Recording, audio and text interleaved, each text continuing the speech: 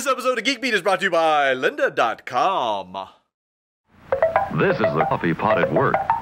Listen to it perk. Look at the coffee as it gets darker and stronger. Ever wondered how many of these it would take to kill you?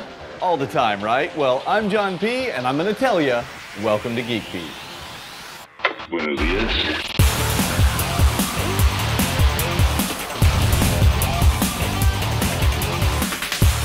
This episode of Geek Beat is brought to you by Maxwell House. Caffeine. It's the world's most widely consumed psychoactive drug, and 90% of Americans consume it daily. Now, I don't know about you, but when I think of caffeine, the first thing that comes to mind has to be lethality. I mean, 10 grams of this stuff is enough to kill you. So I'm constantly worrying just how many Starbucks espresso frappuccinos can I actually drink? So I did the math. Turns out a 24 ounce Frappuccino contains 185 milligrams of caffeine, which by the way is more than five cans of Coke. So you could down 54 of them before you were near death. Incidentally, at $4.25 each, that means it would cost $230 to commit suicide by Frappuccino. I've been drinking cafe lattes since the fifth grade and I haven't looked back. But I digress. If you step it up to a regular venti Starbucks coffee, you're gonna get a whopping 415 milligrams of the juice per cup. You're, you're all hopped up on the caffeine. I feel like I'm talking a little faster, but it's very hard to tell. And it's only gonna cost you $2.25. That tips the death meter towards a far more favorable price range because now it would only take about 24 tall boys or 54 bucks to put you in the hospital. Incidentally, next time someone gives you a $50 Starbucks gift card, that could be considered attempted murder.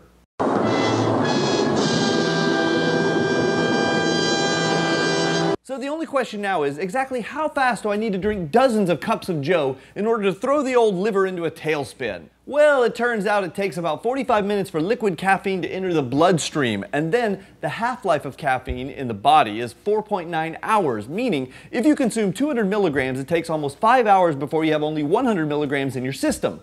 God, I feel great. Of course, we're only talking about healthy adults. Kids, the elderly, or people with a disease process caffeine much slower. By the way, did you notice we're learning something together today? You know, where else can you learn something? lynda.com. They'll teach you 3D, animation, audio, business, design, development, photography, videography, and about 100 other things. And with enough caffeine in your system, you can probably learn everything in a week, which incidentally is the amount of free access you get when you head over to lynda.com forward slash geekbeat. That's right, visit lynda.com forward slash geekbeat and sign up for your free week of all you can eat knowledge, served with a side of awesome. What was I saying? Oh, yeah. Now, if you're a healthy person and you consume a giant Starbucks coffee at 8 a.m. and take in 400 milligrams, by 1 p.m. you still have 200 milligrams in your system when you stop back in for another cup after lunch. You can't put a limit on my cafe lattes. It says so right here. And I don't want to get dirty looks when I come in here. If I want a cafe latte, you give me a cafe latte. And if I have any problems, I'm going to get my lawyer Jackie Chiles down here. You're going to be in really big trouble. Then, after draining that one, you're up to 600 milligrams floating around in the old blood. By dinner time, you'd be down to about 300 milligrams, and if you're lucky, by around midnight, you'd be getting back to your normal sluggish self. If you find yourself having trouble sleeping at night, now you know why, and you might want to back off on the afternoon caffeine there. Okay, uh, yeah, I- I'll have a. Do you have a, um, a decaf cappuccino? But if you do start cutting down, do it slowly. Caffeine withdrawal causes all sorts of nasty side effects like constipation, muscle stiffness, depression, sleeplessness, stuffy nose, and vomiting.